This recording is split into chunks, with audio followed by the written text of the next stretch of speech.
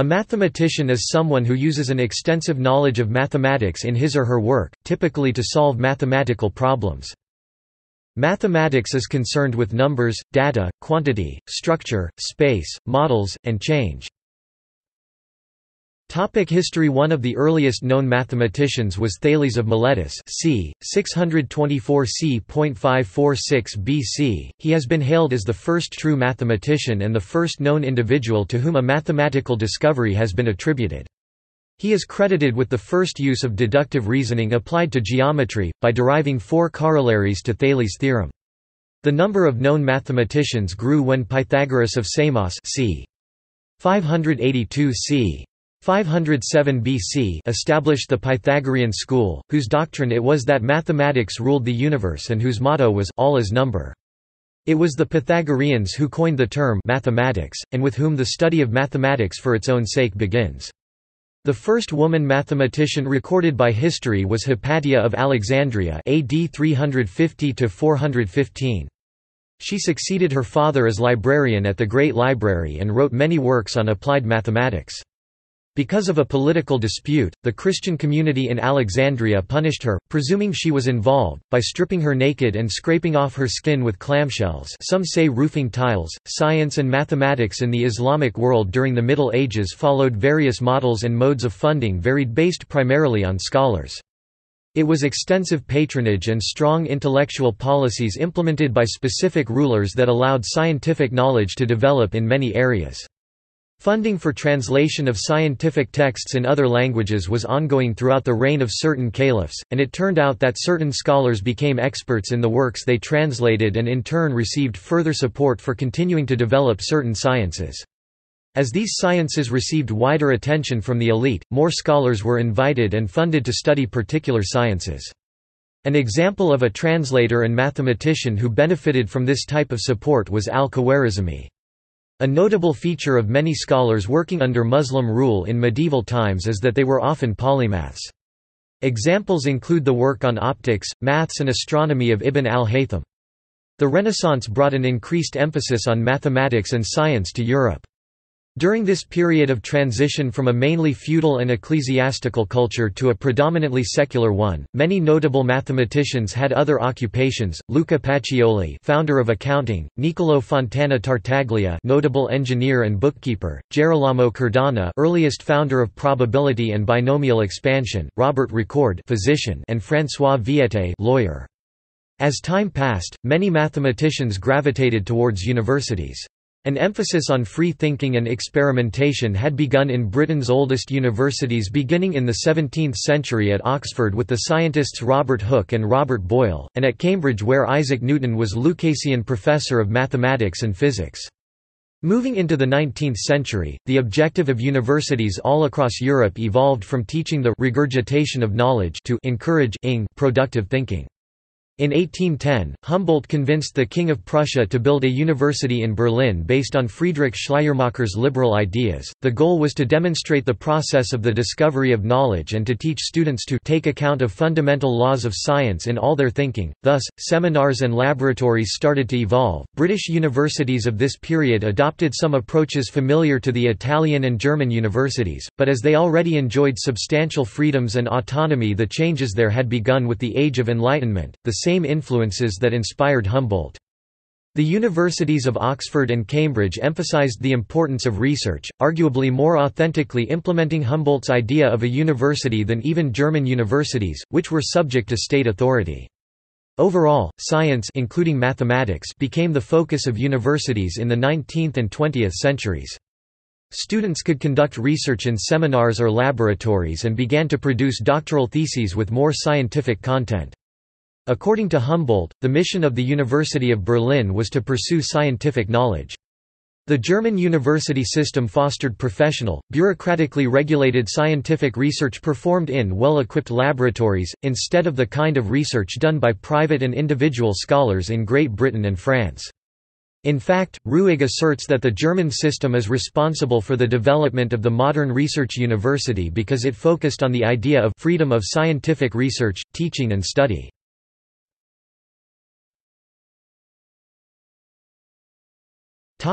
Required education Mathematicians usually cover a breadth of topics within mathematics in their undergraduate education, and then proceed to specialize in topics of their own choice at the graduate level. In some universities, a qualifying exam serves to test both the breadth and depth of a student's understanding of mathematics. The students, who pass, are permitted to work on a doctoral dissertation.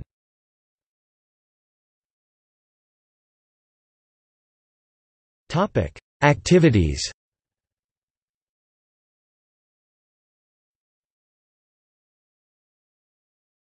Topic: Applied mathematics. Mathematicians involved with solving problems with applications in real life are called applied mathematicians. Applied mathematicians are mathematical scientists who, with their specialized knowledge and professional methodology, approach many of the imposing problems presented in related scientific fields. With professional focus on a wide variety of problems, theoretical systems, and localized constructs, applied mathematicians work regularly in the study and formulation of mathematical models. Mathematicians and applied mathematicians are considered to be two of the STEM science, technology, engineering, and mathematics careers. The discipline of applied mathematics concerns itself with mathematical methods that are typically used in science, engineering, business, and industry. Thus, applied mathematics is a mathematical science with specialized knowledge. The term applied mathematics also describes the professional specialty in which mathematicians work on problems, often concrete but sometimes abstract. As professionals focused on problem solving, applied mathematicians look into the formulation, study, and use of mathematical models in science, engineering, business, and other areas of mathematical practice.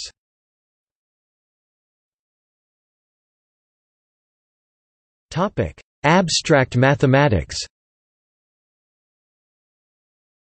Pure mathematics is mathematics that studies entirely abstract concepts. From the 18th century onwards, this was a recognized category of mathematical activity, sometimes characterized as speculative mathematics, and at variance with the trend towards meeting the needs of navigation, astronomy, physics, economics, engineering, and other applications. Another insightful view put forth is that pure mathematics is not necessarily applied mathematics, it is possible to study abstract entities with respect to their intrinsic nature, and not be concerned with how they manifest in the real world. Even though the pure and applied viewpoints are distinct philosophical positions, in practice there is much overlap in the activity of pure and applied mathematicians. To develop accurate models for describing the real world, many applied mathematicians draw on tools and techniques that are often considered to be pure mathematics. On the other hand, many pure mathematicians draw on natural and social phenomena as inspiration for their abstract research.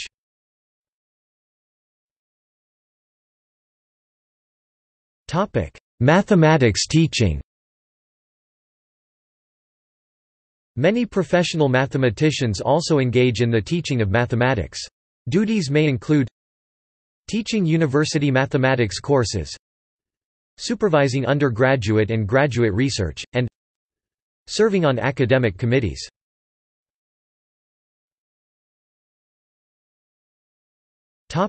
Consulting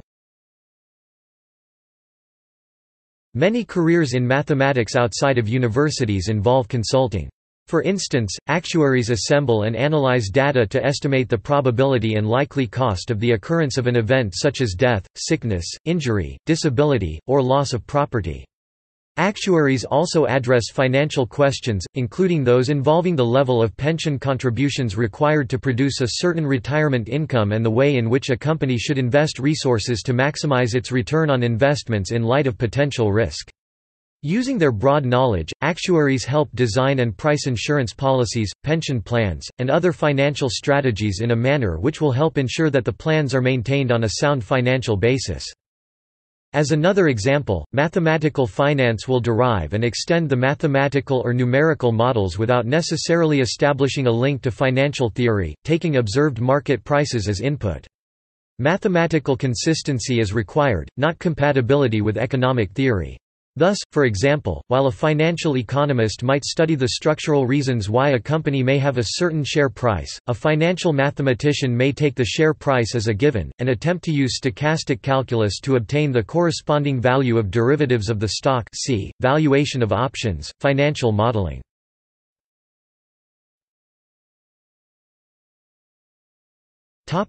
Occupations According to the Dictionary of Occupational Titles occupations in mathematics include the following. Mathematician Operations Research Analyst Mathematical Statistician Mathematical Technician Actuary Applied Statistician Weight Analyst.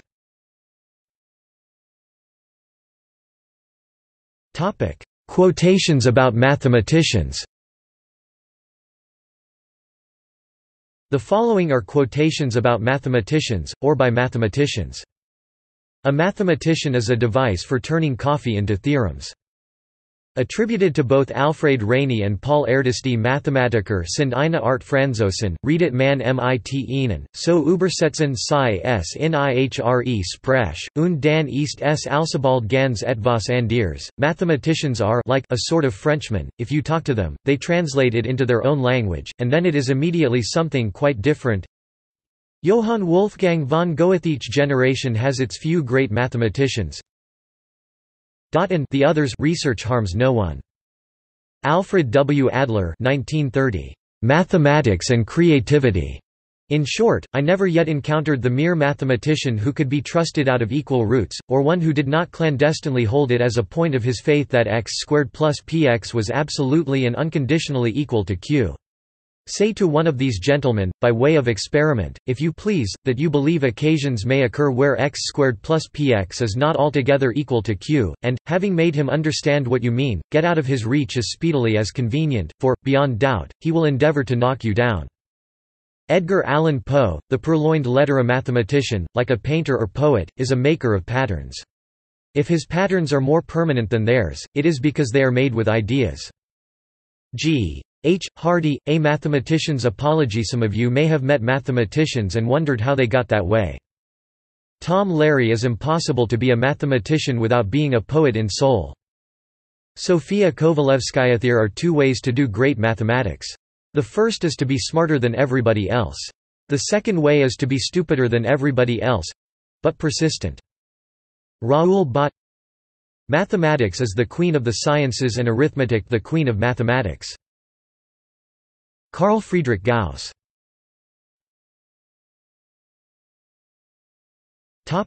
Prizes in mathematics. There is no Nobel Prize in mathematics, though sometimes mathematicians have won the Nobel Prize in a different field, such as economics.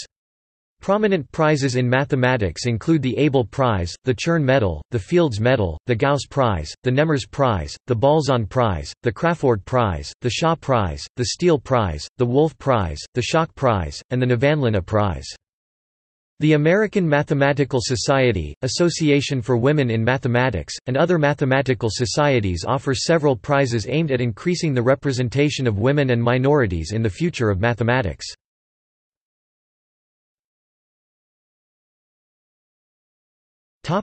Mathematical autobiographies. Several well-known mathematicians have written autobiographies in part to explain to a general audience what it is about mathematics that has made them want to devote their lives to its study. These provide some of the best glimpses into what it means to be a mathematician. The following list contains some works that are not autobiographies, but rather essays on mathematics and mathematicians with strong autobiographical elements. The Book of My Life, Girolamo Cardano A Mathematician's Apology, G. H. Hardy A Mathematician's Miscellany republished as Littlewood's Miscellany J. E. Littlewood I Am a Mathematician, Norbert Wiener I Want to be a Mathematician, Paul R. Halmos Adventures of a Mathematician, Stanislaw Ulam Enigmas of Chance, Mark Kac Random Curves, Neal Koblitz Love and Math, Edward Frenkel Mathematics Without Apologies, Michael Harris.